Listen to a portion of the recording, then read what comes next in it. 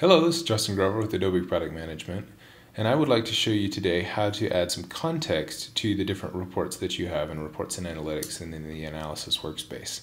Um, what I'm going to do is I'm going to go ahead and go into the admin console, and I'm going to show you how to add an, a description to both your dimensions and your metrics.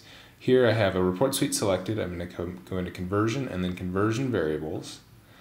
And in there, you'll notice that there is, for each of the conversion variables, a description field. So if I go ahead and click into one of these, I have a description for, the, for this eVar. And so this one is my internal search term.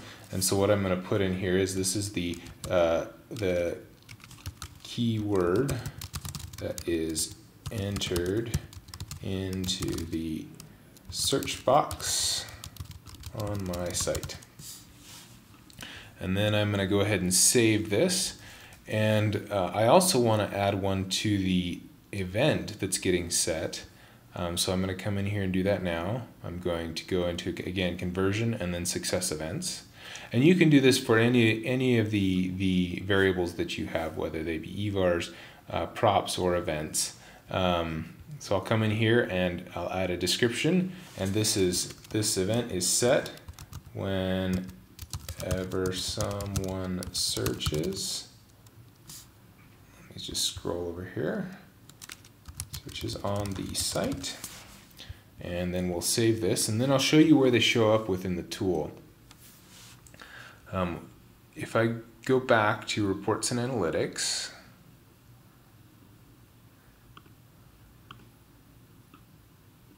and then what we'll do is we'll, it shows up in a couple places. It shows up first in the navigation. So I'll come in here and I'll navigate to that to that variable and that will be under my custom conversion. Here we go and then I have a site, site internal search term. And you notice that this, this variable now has a, a, question mark next to it. So I can hover over it and see the description that I entered in. Um, notice that this one doesn't have a description because I have nothing entered in. And then when I click on the report, it actually shows up um, at the top of the report. And so you, you get the, the uh, information that you typed in as part of the description. Um, now, if I go ahead and add the metric that we were looking at, which was searches, um, not only does the description show up in the information icon there, but when I add it to the report, it also shows up in the, in the little help icon on the report. And you can see that right here. Um, so that hopefully helps give you some context in reports and analytics as to what this, this dimension or metric is. If we switch over to analysis workspace, those, those settings also apply there. Um, so if I go ahead and create a new project, and then I'm going to add in my searches uh, search term dimension. So here I can look at, again, the info uh, icon and it's the description is surface there. And then if I add that to the report and add the searches metric, I also get the searches. Uh, oops, I got to get the right one. All right, then I get the, uh, the description there as well.